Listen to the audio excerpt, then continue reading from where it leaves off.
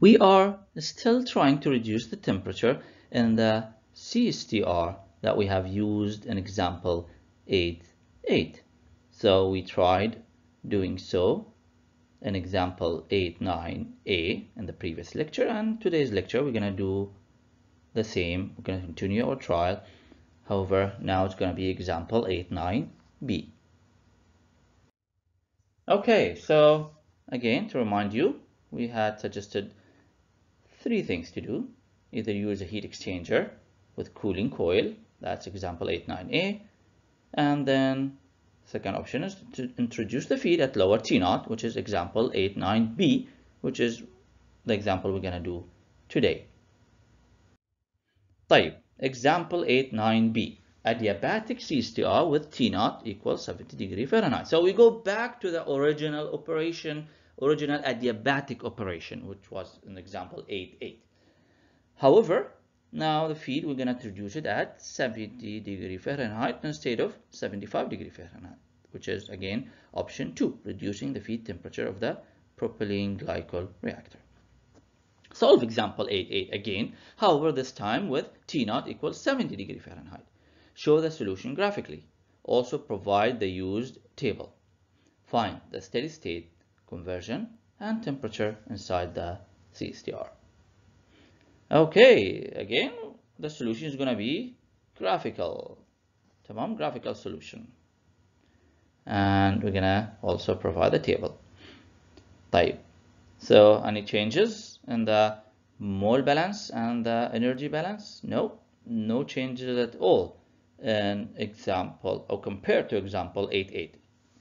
So what I suggest you guys to do is again go to that file with the tab 8.8, right click, copy or move and copy, make a copy to another tab. And this new tab, call it 8.9b.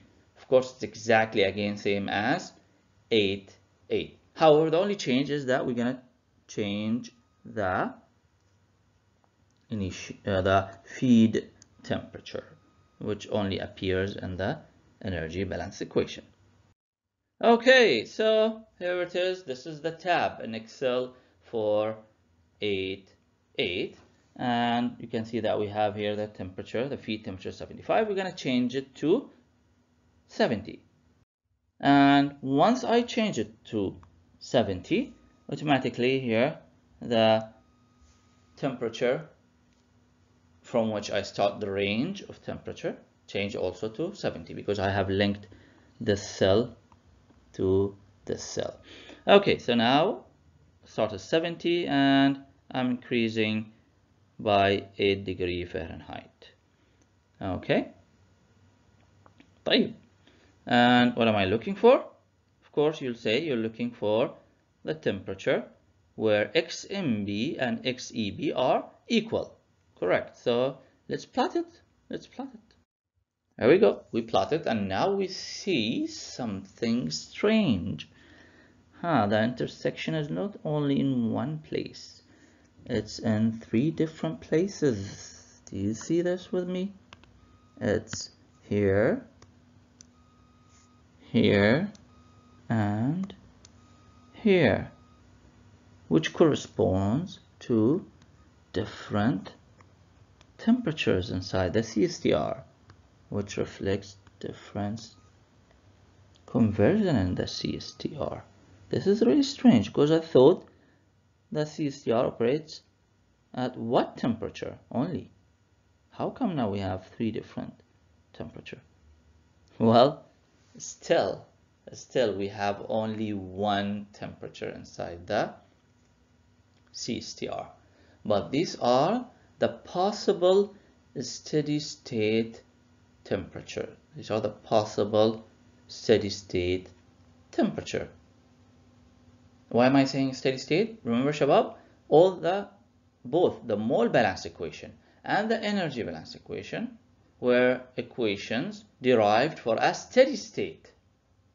Correct? For a steady state operation. Remember where we put the accumulation equal to zero in both the energy balance and material balance. So that means if these equations are used, the result will be for a case where we have a steady state operation. So we have now the CSTR could reach to one of these three steady states تمام because of course when I start a CSTR it starts as unsteady state during the startup until it reaches a steady state and the there are three possible steady states that the reactor could reach to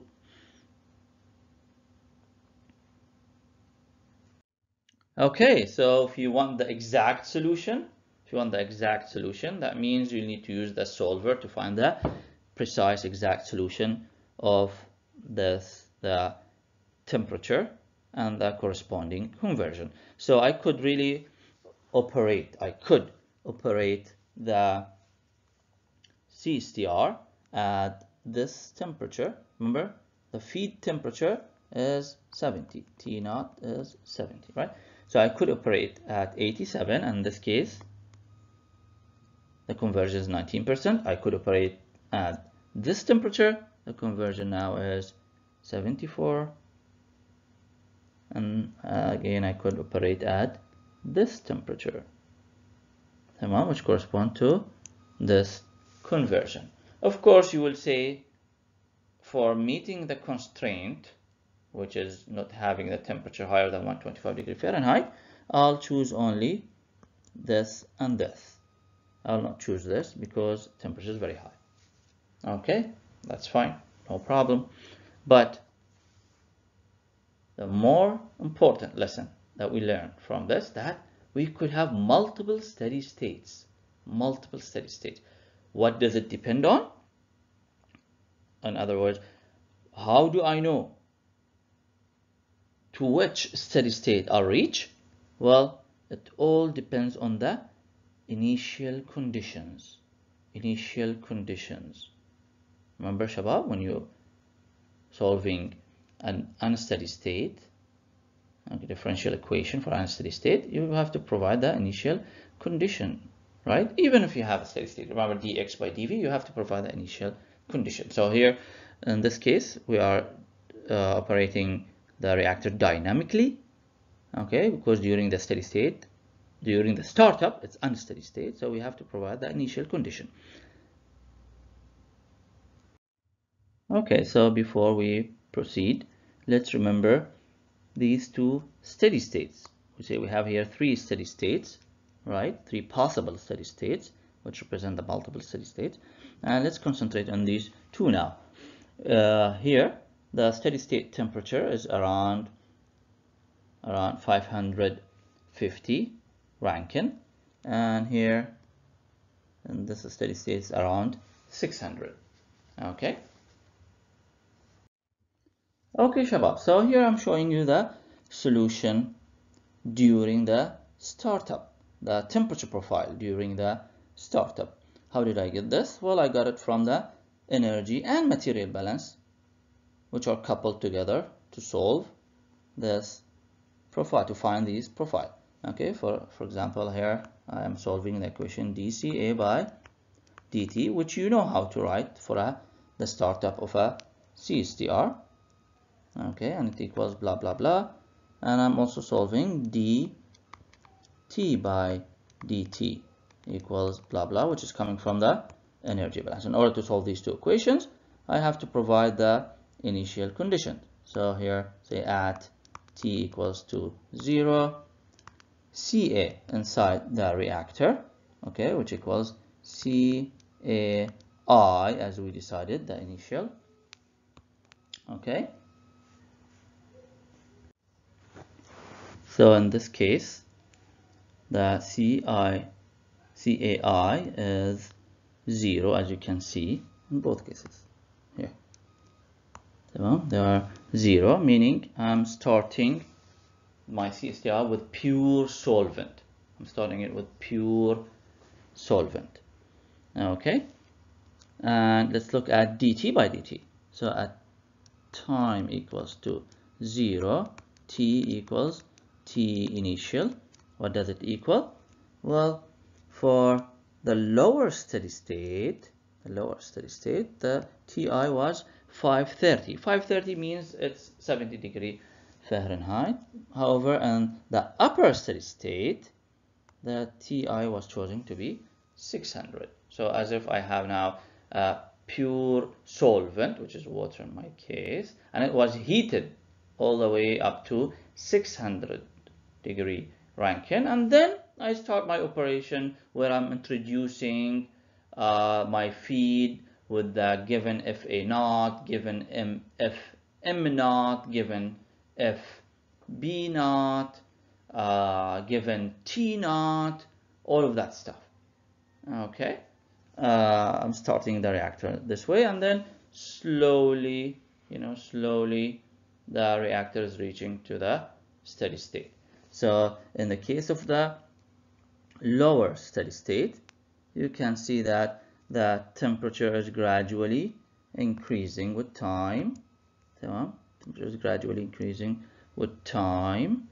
Why is that? Because the reaction is exothermic, correct? So the feed is introduced. So the solvent is at 70 degree Fahrenheit. The feed is, introduced at 70 degree Fahrenheit. And as the reaction taking place, uh, it's releasing heat, right? And course, the seed is helping to increase the temperature of the reaction mixture inside the reactor and this continues to increase until it reaches the steady state. You can see now I have reached here. From here onward, I have steady, reached a steady state, which is the five, uh, 547 or so, 45 or 47 degree Rankine. Okay, let's look at the upper steady state where I started with pure solvent. However, the solvent was heated up to 600 Rankine and then I start my process. So you can see that at time zero, at time zero, the temperature is 600 Rankine. However, my feed T naught is at 70 degree Fahrenheit, right? Which is around 530 Rankine. So you can see that the temperature is dropping. Why is that? Because my feed now is much colder than the temperature of the reaction mixture.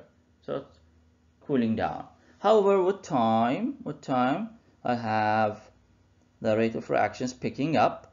The rate at which heat is released from the reaction is picking up.